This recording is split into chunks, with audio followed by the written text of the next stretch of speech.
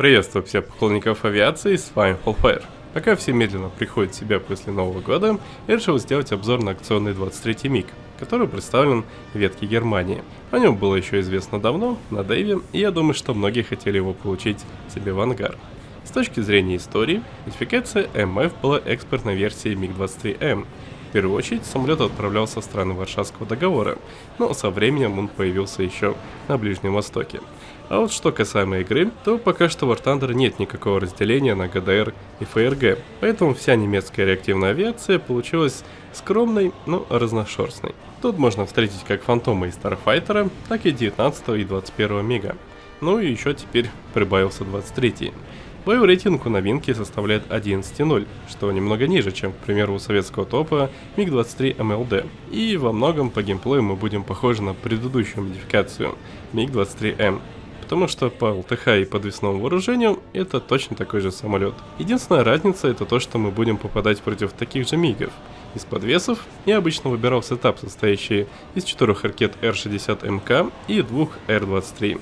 Р-23 это неплохие ракеты для дальнего боя, но все же они не идеальны я использовал как R23T, так и R23R, и могу сказать, что модификация T мне понравилась несколько больше, потому что эту ракету можно наводить практически незаметно для противника.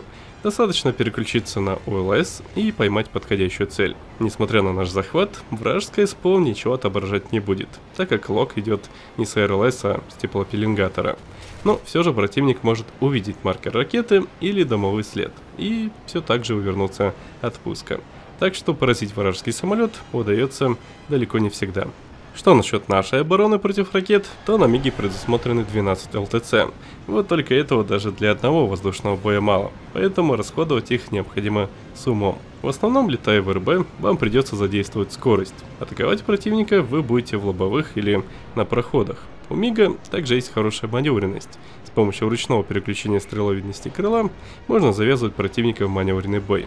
Однако стоит учитывать, что у врага могут быть такие же 23 Миги или еще лучше, модификация МЛД. Поэтому будьте аккуратны, не стоит терять энергию при первой встрече с противником. Топливо берите на 20 минут. Если выпадет стандартная карта для РБ, к примеру Моздок или Смоленск, то этого вам должно хватить. А вот если выпадет Вьетнам с линии фронта, то тут уже стоит заливать полный бак. Такие карты были добавлены из противостояния, и размеры там соответствующие. В целом, МиГ-23МФ мне понравился. В умелых руках это отличный истребитель. Как я уже говорил, от советского МиГа он отличается лишь тем, что находится в ветке Германии. А немцы частенько залетают советами, так что эта армада из 23 МиГов может быстро смести вражескую команду. В совместных боях уже не все так радостно, штурмить особо нам нечем. На выбор у нас есть пресеты с неуправляемыми ракетами, С-24 или С-5К, мелкими бомбами по 100 кг или управляемые ракеты Х-23М, но их всего две штуки. Проблема в том, что на топ-тире у немцев очень мало штурмовиков. По сути, главным по штурмовке сейчас выступает Фантом, ибо у него есть мощные бомбы и ракеты Зуни. А ГМ-65 я в расчет не беру, так как все их две и стоят они дорого. Но 23-му МиГу и так нечем ответить. Мы, конечно, можем покидать в танке С-24, но те же ракеты несет 21 МиГ, да и против ЗРК это не самый лучший выбор. Поэтому в штурмовке я особо не преуспел. Зато играя против советов, я частенько сбивал вертолеты Камова. Они встречаются практически в каждом бою, и пока они заняты поиском танков, они очень уязвимы. Так что если вы боитесь вылетать в авиационных боях без нормальных ракет, то можете нафармить их с помощью совместных, сбивая винтокрылые машины. ГШ-20 стрел сейчас наносит хороший урон, и проблем со сбитием у меня еще не было. В симуляторных боях мой первый вылет как-то не задался. Я оглядывался по сторонам в поиске противника, но меня в итоге сбил союзник. Причем на второй респаун мне просто не хватило серебра, и полеты в противостоянии я отложил на несколько дней.